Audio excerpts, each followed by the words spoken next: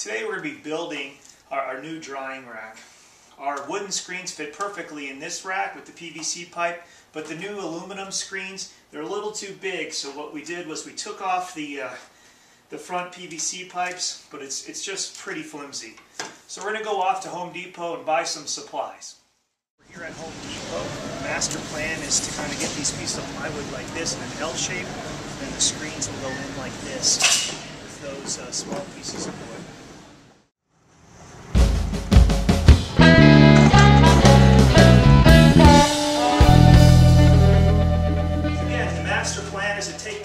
Plywood, make an L shape, and then take the uh, one by halves and lay them uh, sideways along this way.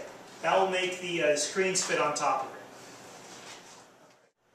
The height of my counter is 36 inches high, so I'm going to make this plywood fit just underneath it. So I'm going to start off by measuring out 36 inches. After measuring everything out, it looks like we can make 11 screen rack.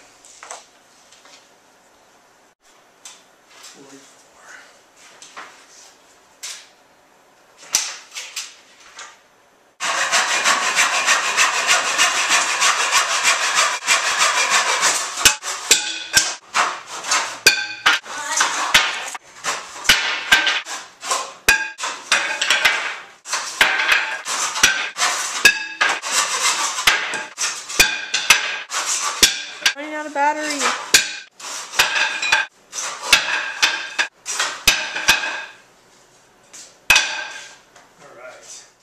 wood is cut. Got all the, uh, the markings on the pieces of plywood.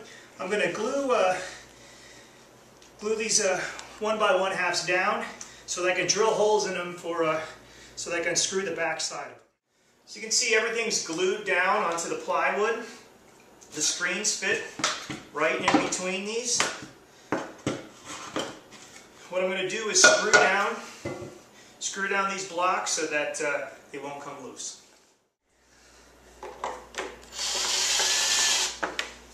All right, we've got it built now. The only thing left is to attach the hinges and uh, we should be set. It's to look like just like this. And we're going to put a set of hinges on the back here.